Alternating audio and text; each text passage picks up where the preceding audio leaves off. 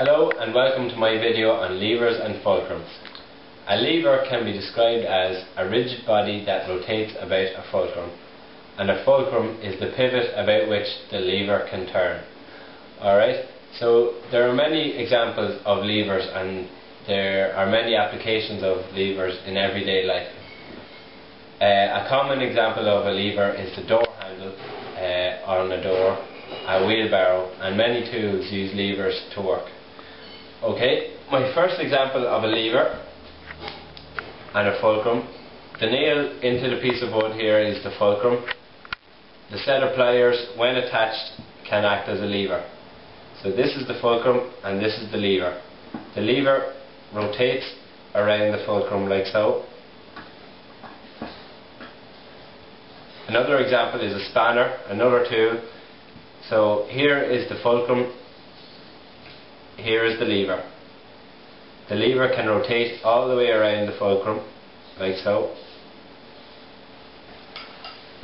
Okay, and finally, my last example is a hammer that can lift the fulcrum out. So the hammer is attached here to the fulcrum. The hammer is attached to the fulcrum here and can lift out the nail like that. Okay, my last example of a lever here is the door handle. This part of the door handle is the fulcrum. This long part here is the lever. The lever can rotate around the fulcrum like so. Now we're going to take a look at how the law of the lever works.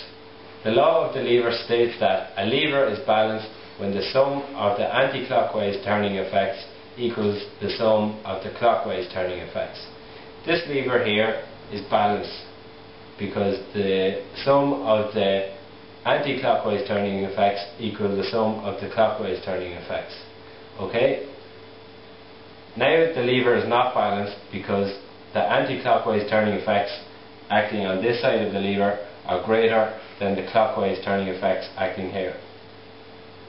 Similarly, on this side, the lever is not balanced and therefore the clockwise turning effects are greater than the anti-clockwise turning effects on this side.